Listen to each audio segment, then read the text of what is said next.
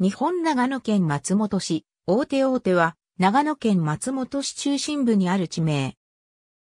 現行行政地名は大手1丁目から大手5丁目。住居表示実施済み。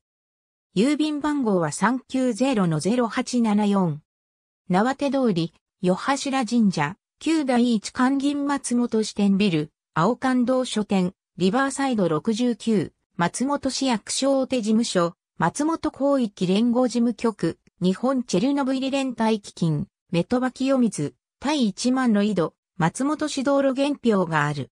銀行、証券会社支店などのオフィスや飲食店、住宅の混在するエリア。老舗も多い。近年はマンションが急増している。メトバ川を隔てて中央がある。大名町通り、小草、道路、東町通り、ナーテ通りが通る。千歳橋近くの82銀行前バス停は、アルピコ交通バスの多くの路線が通る。69や千歳橋周辺を中心に以前は、市で最も栄えていたが、今は駅前にお株を奪われてしまっている。そのため69商店街のアーケードを取り払い、再開発ビルを建設した。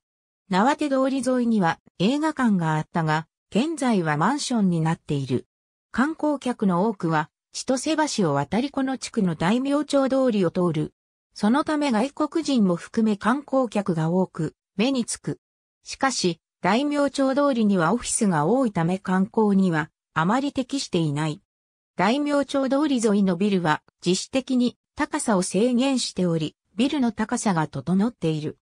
俗地名では、今町、大名町、上土町、土いじり町、緑町、山部工事、西堀、土手工事、大柳町、小柳町、辰巳町、今町、69町、江笹町、東町、下横田町などが該当する。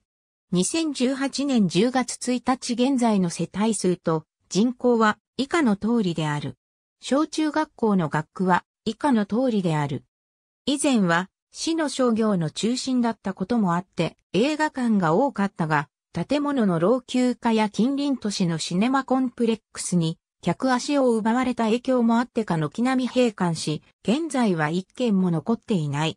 松本東方セントラルは、松本市大手2丁目9の23に存在していた東方系の映画館。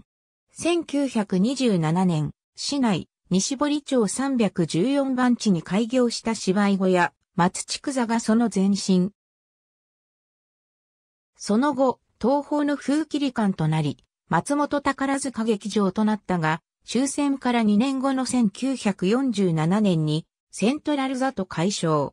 その後玄関名に解消し、1993年には2階席部分を改修し、2艦体制となった。